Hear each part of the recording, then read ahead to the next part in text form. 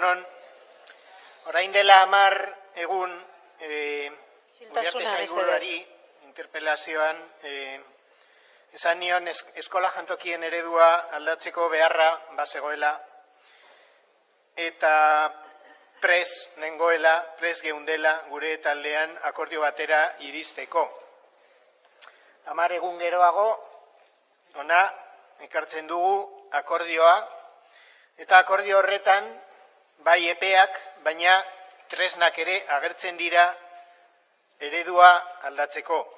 Eta tresna horien artean, nik aipatuko nahi nituzke, ba, elkarrizketa alde batetik, eta elagile guztien arteko elkarlana, ezinbestekoak direlako akordio batera iristeko. Orain, ez dakigu, oraindik ez dakigu, sistema berriaren ezaugarri guztiak, eta gurasoei, langilei, zentruei eta gobernuari dagozkie zehaztea e, sistema e, horren ezaugarriak, baina bai badakigu zer ez dugu nahi etorkizunari begira. Eta ez dugu nahi sistema ilun bat, iruzurrak sortzeko modukoa, ez dugu sistema bat prekaritatea albidetzen duena, ez dugu sistema ezitzailerik, ez parte hartzailerik, eta umeen osasuna eta bertoko ekonomia eren gainetik, etekin ekonomikoa lehen esten duenaren sistema bat ere ez dugu nahi. Decía que no sabemos cuáles serán las, mm, las eh, características de un nuevo sistema de comedores escolares, del nuevo sistema de comedores escolares que saldrá a raíz del acuerdo al que hemos llegado hoy. Eh, pero sí puedo decir que hace unas semanas, cuando acudimos la Comisión de Educación a las jornadas gozo de alimentación escolar saludable y sostenible, eh, me quedó la sensación, de que sí o sí en este país nos merecemos un sistema de comedores mejor que el que tenemos y un sistema de comedores más eh, similar al que podemos ver en otros sitios.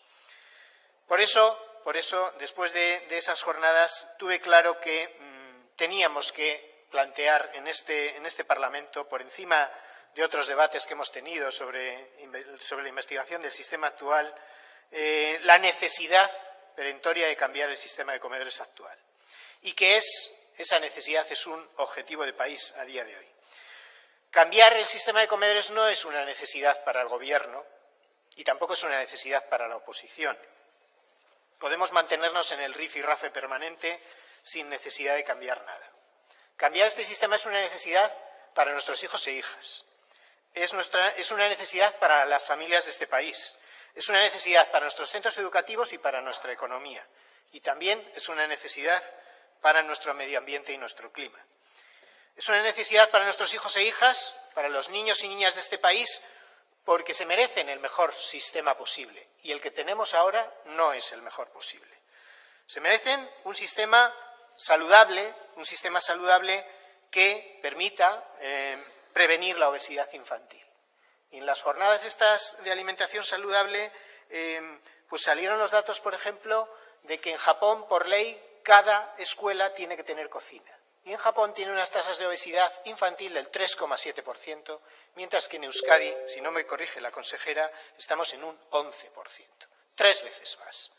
Tres veces más.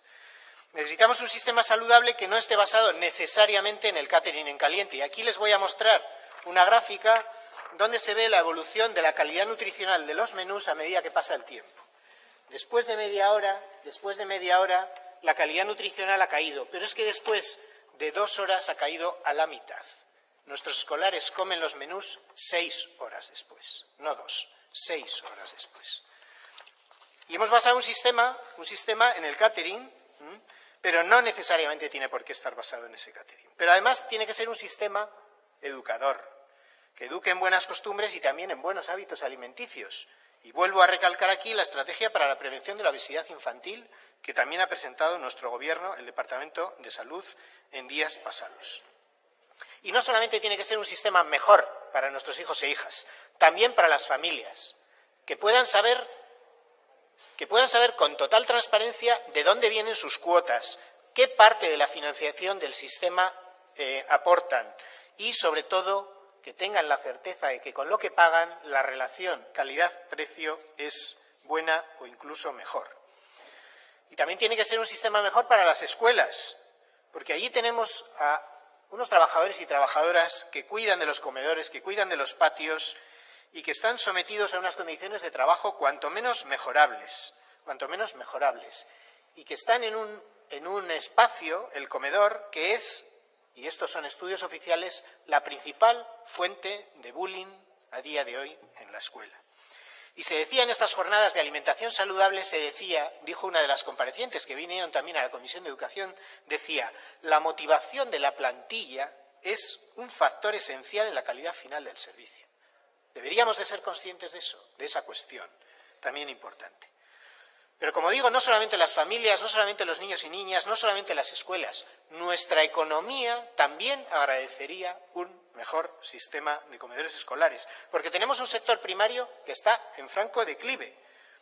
Estamos importando el 90% de los alimentos que consumimos en este país y, sin embargo, nuestro sector primario se encuentra, se enfrenta a graves dificultades a la hora de exportar sus productos, en una situación cuanto menos incierta.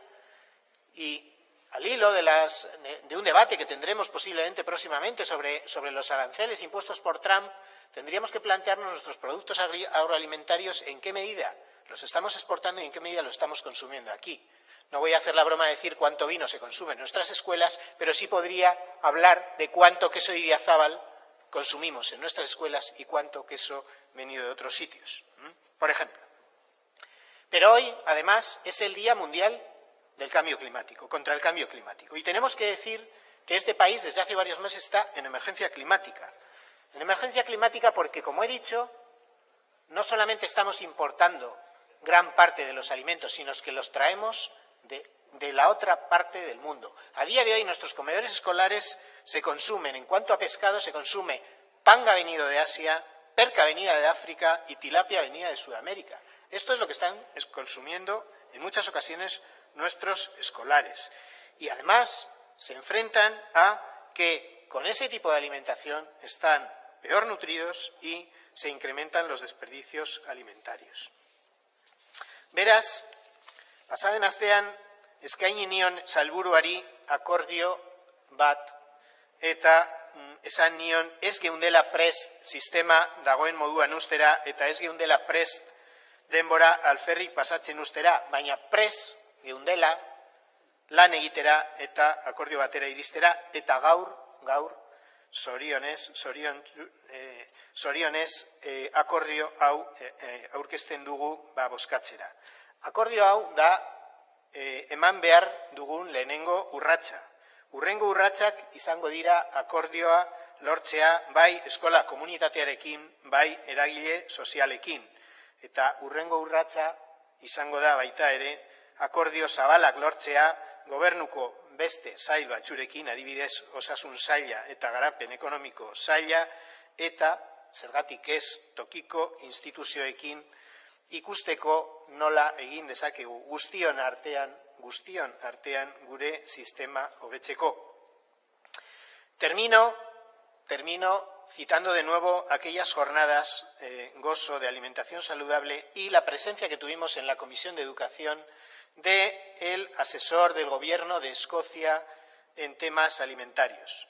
Presentó el programa escocés Good Food Nation, toda una política alimentaria, toda una declaración de intenciones con inversiones millonarias en alimentación escolar, con inversiones millonarias para conseguir que eh, la alimentación en sus centros escolares fuera más saludable, con límites al azúcar, a la carne roja, con incremento de fruta y vegetales, con restricciones en la publicidad de alimentos insanos, una política que les ha llevado a invertir más de cuatro millones de libras en alimentación escolar, pero que, en palabras de su propio asesor, les ha traído unos retornos, una amortización de tres libras por cada libra en forma de control de la obesidad, en forma de lucha contra el cambio climático y en forma de impulso de su economía, que ha pasado a tener un 53% de proveedores locales en su sistema escolar. En las jornadas de gozo se dijo una frase que se me quedó grabada. Cada comunidad se debe reconocer en su modelo escolar. Cada país, diría yo, se debe reconocer en su modelo escolar. Euskadi es, a día de hoy, un país con una cultura gastronómica propia, que genera orgullo en todas las personas que formamos parte de este país, de esta sociedad. Y además tenemos un sistema escolar estructurado, arraigado en nuestros pueblos y en nuestros barrios. ¿Por qué no aunar ambas virtudes? ¿Por qué no aunarlas en un sistema de comedores que nos genere orgullo por nuestra, tradición gastronómica, por nuestra cultura gastronómica y que además esté arraigado en nuestros pueblos y en nuestros barrios? Un sistema de comedores que nos dé la certeza de que estamos haciendo lo posible y lo imposible porque nuestros hijos e hijas tengan el mejor sistema de comedores que este país les puede ofrecer. Es que ricasco. Aurkeztu